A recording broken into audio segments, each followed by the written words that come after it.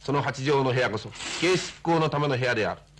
すでに準備が整えられ本日の死刑執行人を命ぜられた3人の職員が待機している。しかしすでに白符をかけられた死刑囚はその部屋の様子を見ることはできない。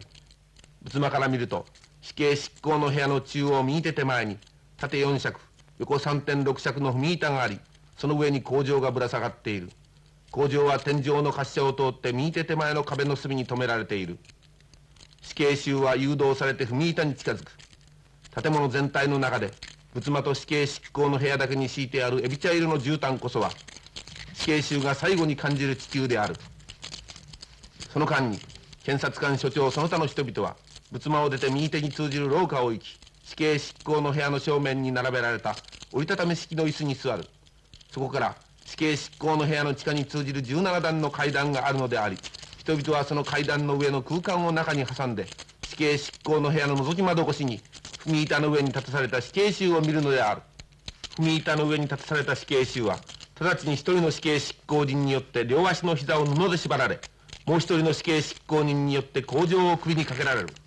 工場は鉄管の部分が首の後部に当たるようにかつ工場と首との間に隙間がないように密着させてかけられるのである。踏み板を落とすためには予備のためにハンドルが設けられているが普通はボタンを押すことで行われる。ファン課長の確認資金より第三の死刑執行人がボタンを押す。踏み板は死刑囚の前面に向かって外れ死刑囚はぶら下がる。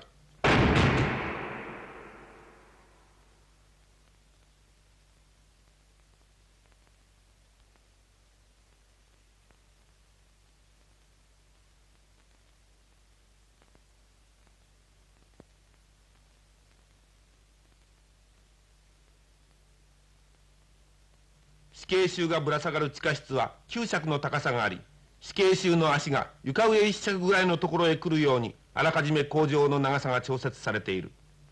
地下室には2人の死刑執行人がおり死刑囚の体の揺れを止めかつ立ち会いの人々に整体させるようにする。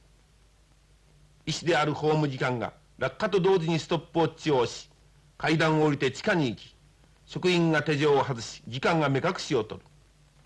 そして時間は脈拍を測り始める。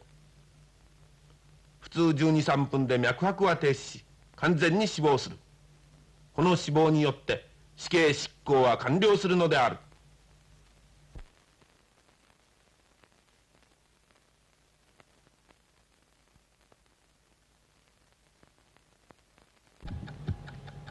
君